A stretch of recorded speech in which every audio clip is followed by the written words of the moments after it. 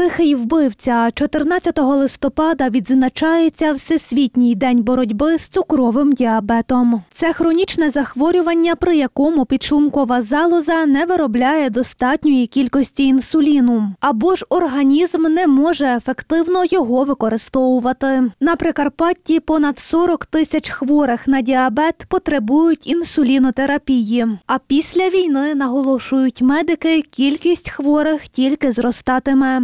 Провокуючим фактором потужнім є стресова ситуація. І сьогоднішні е, військові дії, сьогоднішній навіть ковід е, це все сприяє тому, що ці провокуючі фактори можуть викликати підвищені рівні глюкози крові. І дуже важливо це знати людям. І е, всім старше 45 років обов'язково треба хоча б один раз на рік ем, здати аналіз крові на глюкозу. Спрага, сухість в роті, як не заживаючи якісь виразки, якщо е, ідуть якісь гінекологічні проблеми, е, то в першу чергу треба звернутися до свого сімейного лікаря, до ендокринолога, можливо, який надасть вам кваліфіковану медичну допомогу і е, виявить в першу чергу діабет на ранніх стадіях. Це надзвичайно важливо. Для того, щоб заохотити людей перевірити своє здоров'я, студенти медичного університету вийшли у центр Івано-Франківська і там безкоштовно вимірювали охочим рівень глюкози у крові. Обстеження пройшли більше сотні осіб. Це дуже важливо для всіх нас, тому що в багатьох випадках воно може бути компенсовано. А потім, коли вже е, ми це узнаємо, то вже, вже, вже є, то є пізно.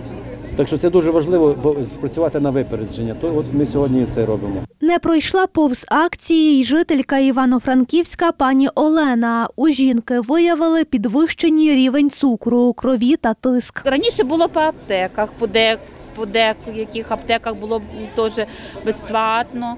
Тепер немає так, таких акцій. Ну, дуже дуже зручно. Попри війну в Україні, переконує експертка з ендокринології Оксана Марусин, хворі на діабет повністю забезпечені інсулінотерапією. Окрім того, наявні й прилади для вимірювання глюкози.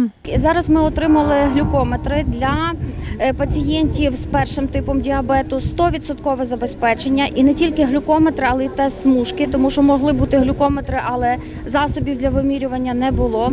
Тому якраз в ці дні пацієнти починають отримувати безкоштовно ці глюкометри та тест смужки.